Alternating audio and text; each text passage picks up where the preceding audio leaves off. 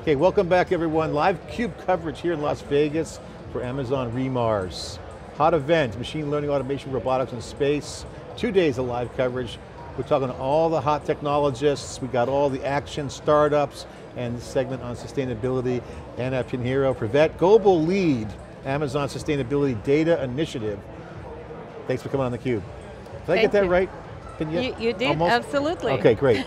Thank you. Great to see you. We met at the analyst uh, mixer and um, blown away by the story going on at Amazon around sustainability data initiative because we were joking, everything's a data problem now, because that's cliche.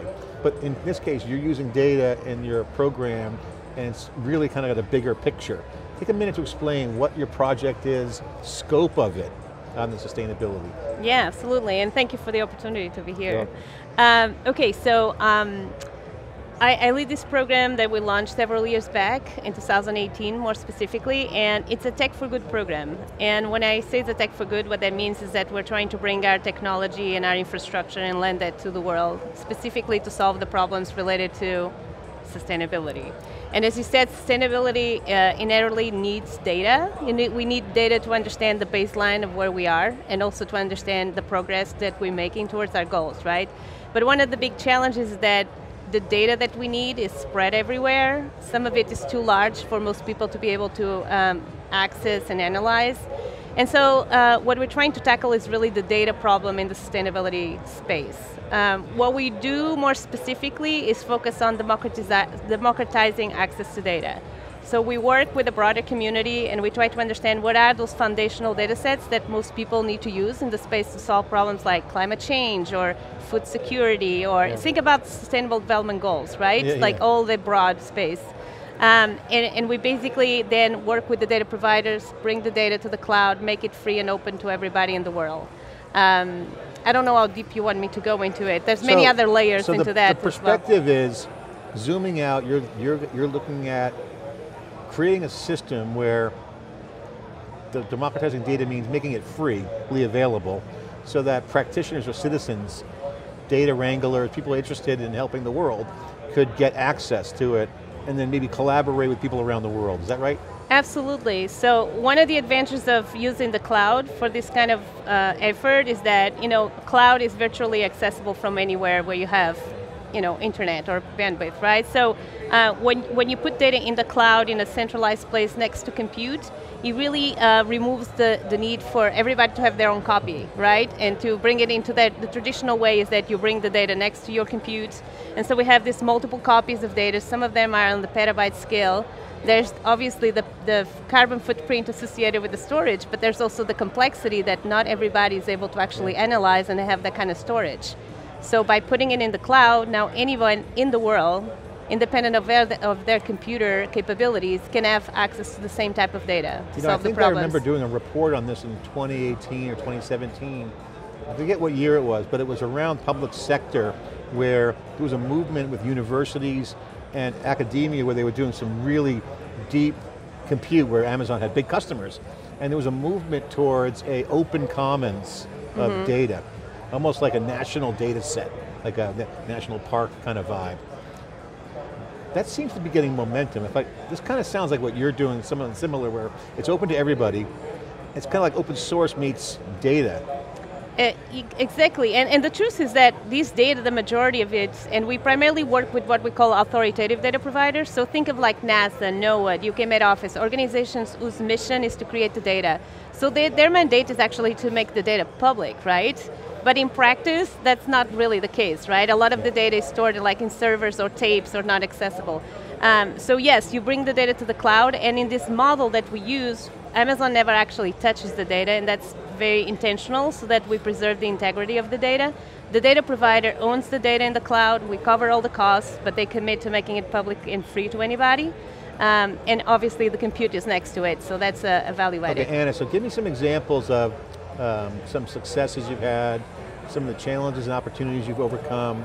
Take me through some of the activities because um, this is really needed, right? I mean, you got to, sustainability is a top line conversation. Even here at the conference, re:MARS, they're talking about saving climate change from space, which Mm-hmm. is legitimate, and they're talking about all these new things. So it's only going to get bigger, Yeah. this data. What are some of the things you're working on right now that you could share? Yeah, so what, for me, honestly, the most exciting part of all of this is, is when I see the impact that it's creating on customers and the community in general. Uh, and those are the stories that really bring it home, the value of opening access to data. And, and I would just say, um, the program actually offers, in addition to the data, um, access to free computes, which is very important as well, right? You put the data in the cloud, that's great, but then if you want to analyze it, there's the cost, and we want to offset that, so we have a basically an open call for proposals, anybody can apply and we subsidize that. But so what we see by putting the data in the cloud, making it free, and putting the compute accessible, is that like we see a lot, for instance, um, startups. Startups jump on it very easily because they're very nimble, they, we basically remove all the cost of investing in the acquisition and storage of the data. The data is connected directly to the source and they don't have to do anything. So they easily build their applications on top of it and workloads and turn it on and off as, you know, so they don't have to pay for it. They have to pay, they basically just pay for the computes whenever they need it, right? So all the data is covered. So that makes it very feasible for, for a lot of startups. And then we see anything like from academia and nonprofits and governments working extensively on the what data. What are some of the coolest things you've seen come out of the woodwork in terms of you know, things that built on top of the, the data, the builders out there are creative, all that heavy lifting's gone, they're being creative. I'm sure there's been some surprises um, or obvious verticals that jump, healthcare jumps out at me. Uh, I'm not sure if fintech has a lot of data in there, but it's healthcare. I can see uh, a big air vertical. I see, you know, um, oil and gas, probably concern.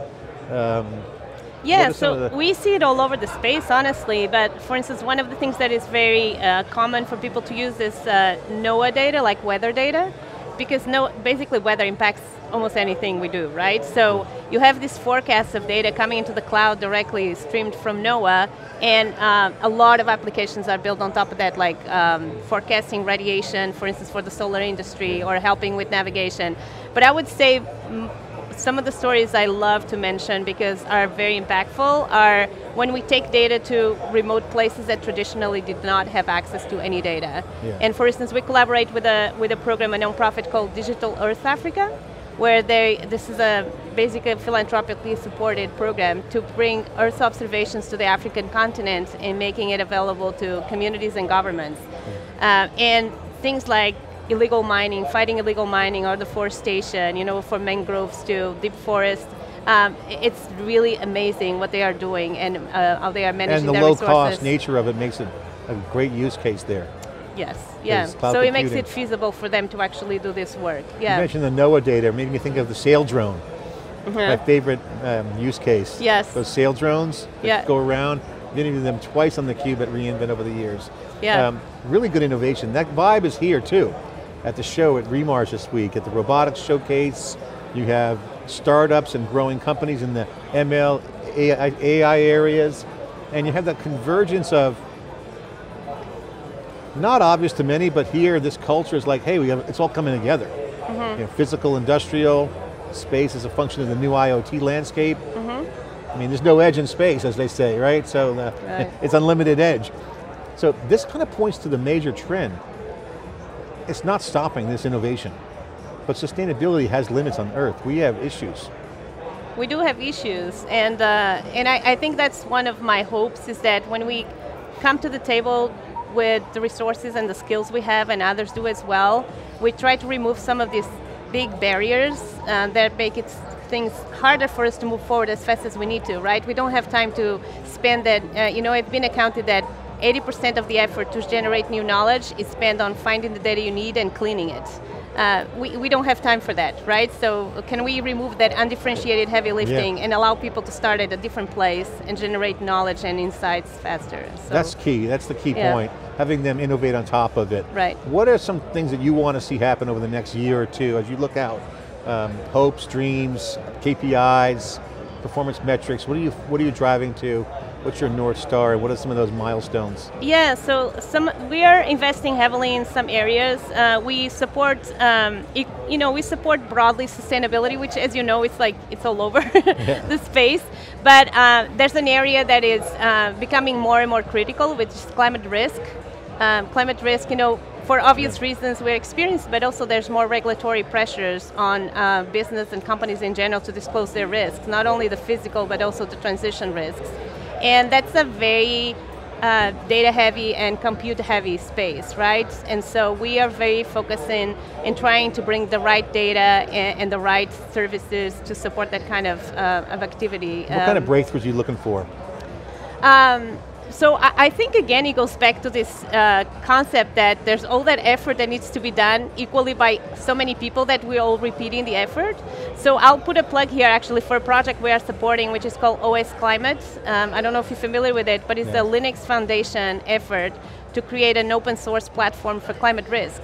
And so they, they bought the S&P Global, Airbus, you know, Allianz, all these big companies together, and we are one of the funding partners to basically do that baseline work. What are the data that is needed? Yeah. What are the basic tools? Let's put it there and do the pre-competitive work, so then you can do the build the, the, the competitive part on top of it. It's kind of like a data clean room. It kind of is, right? But we need to do those things, right? Are they um, worried about comp competitive data, or is it more anonymized out? How do you? It has both actually. So we're primarily contributing contributing with the open data part, but there's a lot of proprietary data that needs to be behind the whole the walls. So I mean, yeah, you're on the cutting edge of data engineering because you know, web and ad tech technologies used to be where all that data sharing was done mm -hmm. for the commercial reasons. You know, the best minds in our industry, quoted by a CUBE alumni, are working on how to place ads better. Yeah. Jeff Hammerbacher, founder of Cloudera, said that on the CUBE. Okay. And he was like, embarrassed that the best minds are working on how to make ads get more yeah. efficient. Right. But that tech is coming to problem solving. And you're dealing with data exchange, data analysis from different sources, third parties, this is a hard problem. Well, it is a hard problem, and I'll, I'll, my perspective is that the hardest problem with sustainability is that it goes across all kinds of domains, right? We traditionally been very comfortable working in our little, you know, swimming lanes. Yeah where we don't need to deal with interoperability and uh, extracting knowledge, but sustainability, you you know, you touch the economic side, it touches the social or the environmental. It's all connected, right? And you cannot just work in the little space and then go and assess the impact in the other one. So it's going to force us to work in a different way, right? It's uh, big data, complex data, yeah.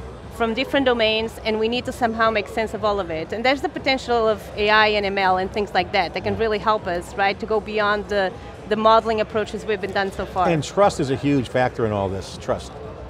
Absolutely, and, and just going back to what I said before, that's one of the main reasons why when we bring data to the cloud, we don't touch it. We want yeah. to make sure that anybody can trust that the data is NOAA data or NASA data, but not Amazon data. Yes. Like we always say in the cube, you should own your data plane. Don't give it up. well, that's cool. Great, yeah. great to uh, hear the update. Is there any other projects that you're working on that you think might be cool for people that are watching that you want to plug or point out because this is an area people are, are leaning into and learning more, young, younger talents coming in, um, anywhere it's university students to people on side hustles want to play with data. So we have plenty of data. So we have uh, we have over 100 data sets, uh, petabytes and petabytes of data, all free. You don't even need an AWS account to access the data and take it out if you want to. Uh, but I, I, would say a few things that are exciting that are happening at re:MARS. One is that we are actually got integrated into ADX so the AWS Data Exchange, and what that means is that now you can find the open data, free data from ASDI in the same searching capability and service as the paid data, right, license data. So hopefully we'll make it easier. If, I, if you want to play with data, we have actually something great. We just announced a hackathon this week uh, in partnership with UNESCO. Uh, focus on sustainable development goals, uh, 100K in prizes, and uh, so much data for you to use. You got the world is your oyster. Go check that out. yes. URL, a website, I'll see it's on Amazon. And use our website or a project they can join or how do people get in touch with you? Yeah, so uh, Amazon SDI, like for Amazon Sustainability Data Initiative, so amazonsdi.com and mm -hmm. you'll find um, all the data, a lot of examples of customer yeah. stories that are using the data for impactful solutions um, and yeah. much more. And, so. and these are, there's a, there's a a new kind of hustle going out there. I've seen entrepreneurs do this and very successfully. They pick a narrow domain and they, they own it. Something really obscure that could be off the big player's reservation. Mm -hmm. And they just become fluent in the data and it's a big white space for them. Right. There's market opportunities and at the minimum, you're playing with data. So this is becoming kind of like a long tail domain expertise data opportunity. Yeah, This absolutely. seems to be really hot. So yes, yeah, go play around with the data, check it out it's for a good cause too, and it's free, it's all free. almost free. It's not always free. Is well, it always free? If you, a friend of mine said, it's only free if your time is worth nothing. yeah, exactly. Well, Ana, great to have you on theCUBE. Thanks for sharing the stories. Thank Sustainability is super important. Thanks for coming on. Thank you for the opportunity. Okay, CUBE coverage here in Las Vegas. I'm John Furrier. We'll be back with more day one after this short break.